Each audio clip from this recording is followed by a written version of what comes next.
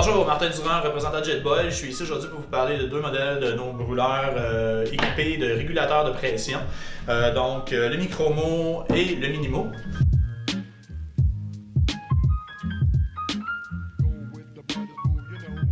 L'avantage d'avoir, dans le fond, le régulateur de pression sur un système de brûleur, c'est tout simplement euh, d'avoir, en fait, il y en a, quelques-uns, mais de régulariser la pression de notre combustible.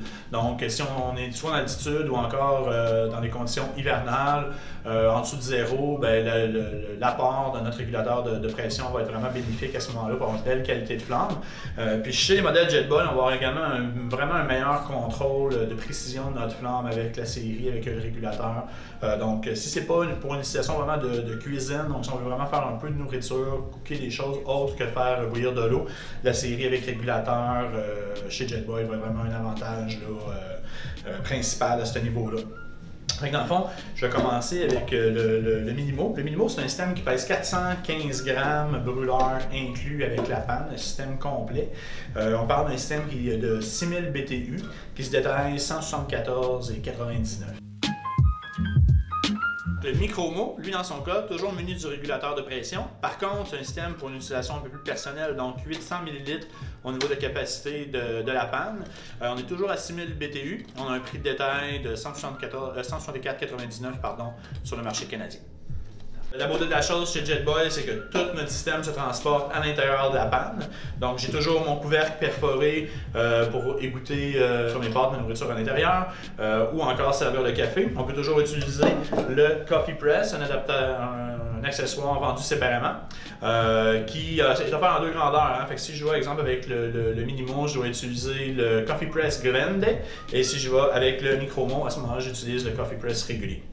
Euh, ensuite de ça, évidemment, j'ai mon brûleur. Dans ce cas-ci, on le transporte à l'intérieur d'une petite sleeve. Donc à ce moment-là, ça permet simplement d'éviter de dégratigner lors du transport notre, notre panne à l'intérieur. Donc, j'ai mon brûleur, semblable au modèle précédent qu'on voyait dans une autre euh, chronique qui était le flash. Par contre, cette fois-ci, j'ai l'ajout de mon régulateur de pression et également beaucoup plus de contrôle dans le fond sur ma flamme. On parle de 7 tours complets euh, qu'on peut avoir à ce moment-là sur le, sur le régulateur. Donc, même principe toujours, simplement flipper mon système comme ça ici. Dans ce cas-ci, aujourd'hui, je vais utiliser une bonbonne de combustible de 100 grammes. Par contre, on peut utiliser la 100 grammes, la 230 et la 500 grammes également. Euh, ensuite de ça, j'ai toujours mon petit stabilisateur tripode que je viens installer comme ça ici tout simplement pour une meilleure stabilité.